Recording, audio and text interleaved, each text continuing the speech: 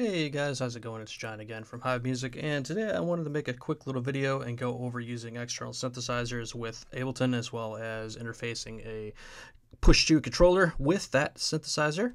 Um, and this is something I've never really had a lot of experience or opportunity to mess around with until recently when a buddy of mine was kind enough to let me borrow his uh, Dave Smith synthesizer here. So I've been messing around with that for the last couple weeks and I've learned a few things. So I just kind of want to dive in here, show you what I've learned, show you some of the pitfalls, show you how to do some workarounds that you might kind of run into. They're kind of weird. So uh, let's just kind of get started here. And for the, for the first thing here, if you, this is the first time you're messing around with this thing, you want to make sure that, you know, if you go into preferences, audio, input, my particular synth, I've got routed to inputs three and four on the back of my audio interface. So that's obviously on, it's enabled. We're good to go there. And in here in our MIDI section, we can see that I've got the keyboard input, output, as well as my Ableton push here. So that's all good to go. Um, and once that's all set up on your end, you're good to go too. And so it doesn't get any easier than this. All you need to do to interface with your synth and Ableton is just create a new MIDI channel and we're going to clean up our track here, get rid of the stuff that we don't need. And in instruments, you're going to find this external instrument here. And it's no different uh, behavior-wise from analog, collision, operator, anything. You just drag it right onto a MIDI track and then select your MIDI output, or excuse me, MIDI input would be, uh, or no, it would be output. You're, you're outputting MIDI to your keyboard here, and we're pulling audio in through channel three and four, and that's that's it. and you can mess around with the knobs, everything.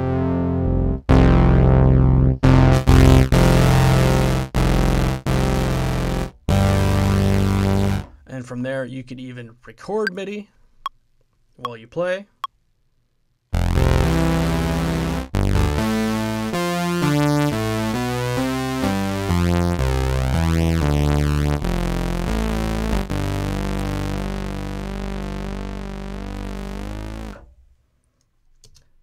and play it back. And of course, you can always tweak this while you're doing it, like play around with the knobs and stuff, get your filter set.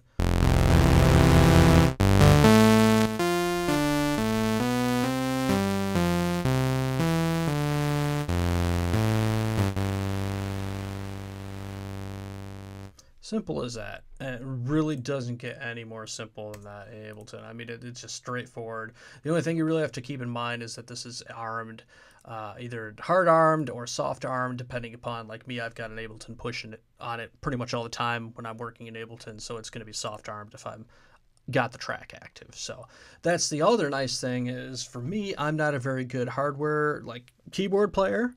Um, and so I rely heavily upon my push to do chord work, scales, things like that. And that's, it's again the same type of deal where if we remove our MIDI, using this actual instrument here, the external instrument, now that I've got my push enabled and already on, all I have to do is push any key on my keyboard, or excuse me, on the push.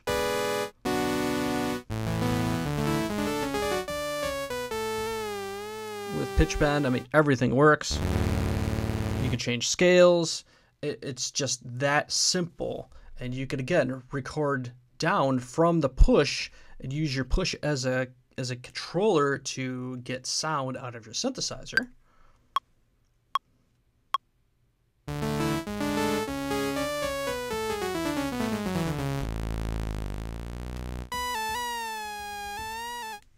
And all of it's just recorded down into MIDI which is just super, super, super easy.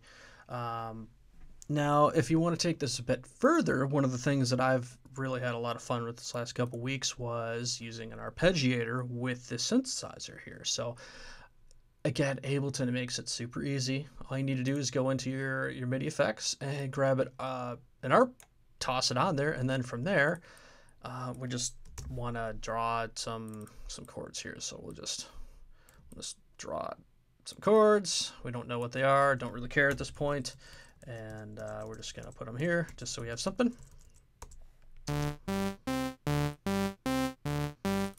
And then, of course, we can mess around with it right in here with our ARP.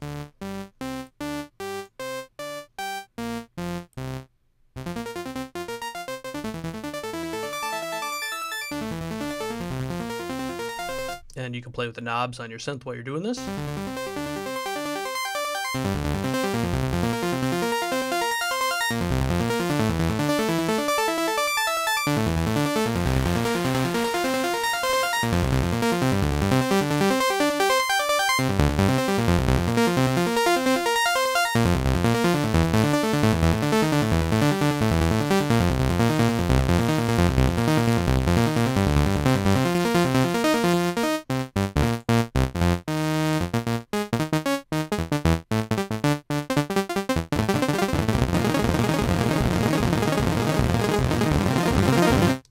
And of course, you can just go crazy with it, and that's awesome. It again, just super, super simple, super straightforward.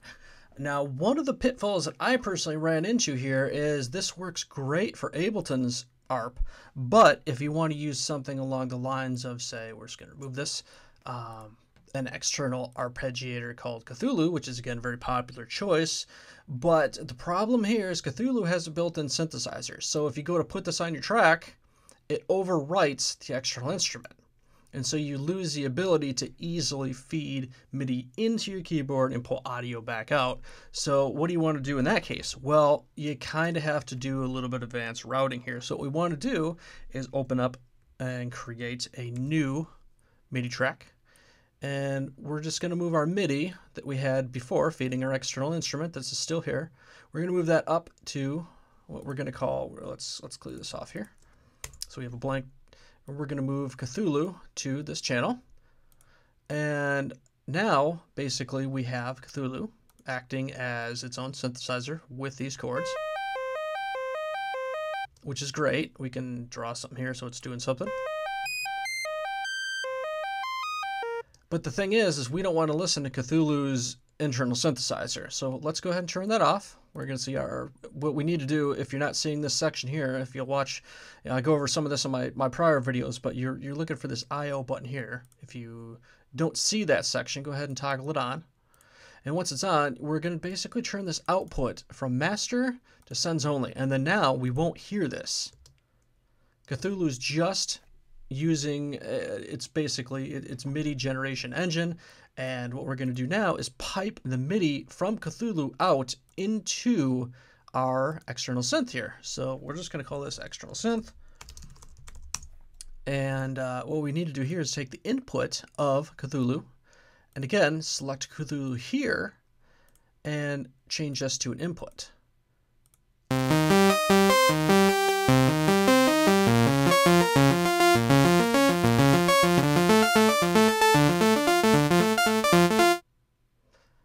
That's all there is to it.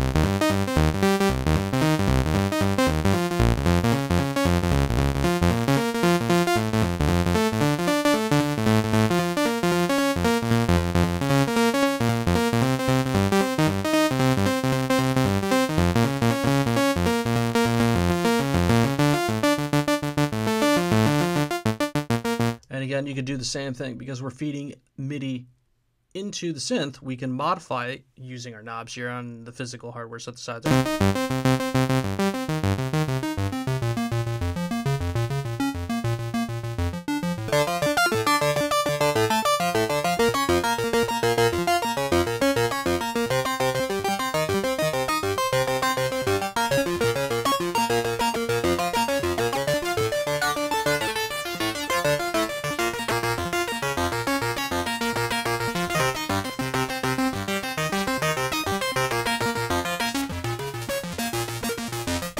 can just get crazy with it. You know, obviously you can mess around with it forever until you get whatever sound you're going for. And so that's really the only real pitfall to using something like this where it has an external synthesizer. You just need to be aware that it's going to overwrite this. And if your particular VST or tool that you're using does do that, then you just need to basically create a router using Ableton's, well, router. Uh, it, it's not too complicated. It's it's a little bit more of an advanced technique, but this kind of bypasses some of the issues you might run into. Um, now, for the sake of the video, a lot of you might want to just stop here I'm going to take it a little bit step further and show you what this does because this is kind of taking care of some of Ableton's internal routing for us and it, it's it's kind of doing a lot of things behind the scenes. So in case you want to know either you want to create this yourself or you just like to know what it's doing, what it's basically doing is it's creating two channels. It's a MIDI channel and an audio channel. So let's go ahead and, and create a MIDI channel and an audio channel. And we're going to clear these off just to keep things nice and tidy. And we're going to outline kind of like this exactly here. So we have MIDI and audio, and we have MIDI and audio. And all this is really doing, let's go ahead and turn this off because we don't want this feeding back in to, uh, to our channel right now. And all we need to do is, again, we're just going to create some MIDI. It doesn't matter what it is at this point. We're just going to create some chords and uh, just duplicate them so we have something. And now we've got our chord pattern here, feeding MIDI. We're going to feed that into our keyboard using this output here. Keyboard, and that's it. And now we're going to do, we're, we're just going to rename these here. We're just going to do uh, MIDI out and audio in. And now what we need to do is select our input, external in, and we've already got three and four selected, but in case you don't, you will need to change this to your particular, um, you know, whatever you have your synth routed into. And from there, you just select them both, and we want arm the tracks, and that's it. Uh, it should be, oh, we need, we need to change this to an input, obviously, sorry.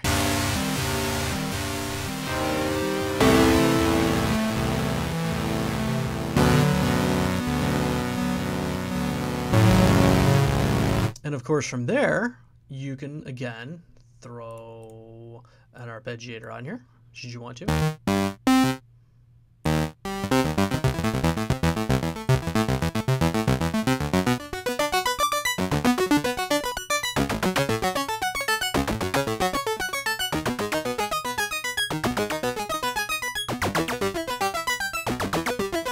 and play around with it.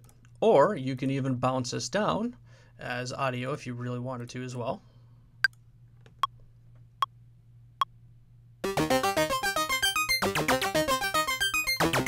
While you're playing with it even.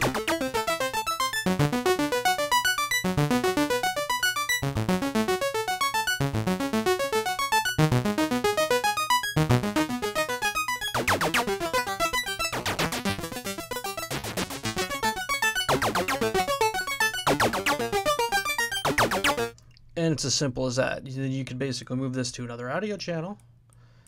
And now you've got what you've recorded as a separate audio channel that you can mess around with and do all sorts of crazy stuff with.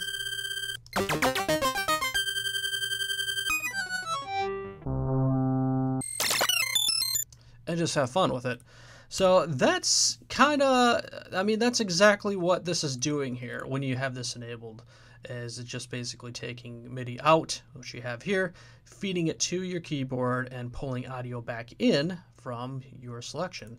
It's just a heck of a lot easier you know to use an external instrument than it is to always have two channels here and it's also cleaner and also remembering to have this set to an input arm both of these tracks and everything like that. It just it's you know sometimes in certain instances, especially when you're using something like Cthulhu, you might find some of these techniques more helpful. But I just kind of find that it's you know it's nice to know what's going on behind the scenes sometimes. And the only other thing to keep aware of is if you have say an audio interface or an audio in here pulling audio from your synth and you also have you know this this external instrument pulling audio from the same source and both are enabled, you're going to get feedback. You see how it got a little bit more different? So you just have to be aware of that. You're either going to want one disabled if you're using this method, or, you know, basically you turn these off and use this.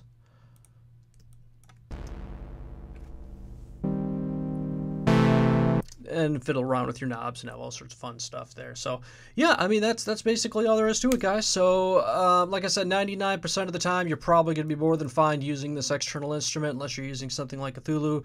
Otherwise, have fun, experiment, and yeah, I mean if you have any questions or anything, hit me up and uh, we'll work through them. Thanks, guys.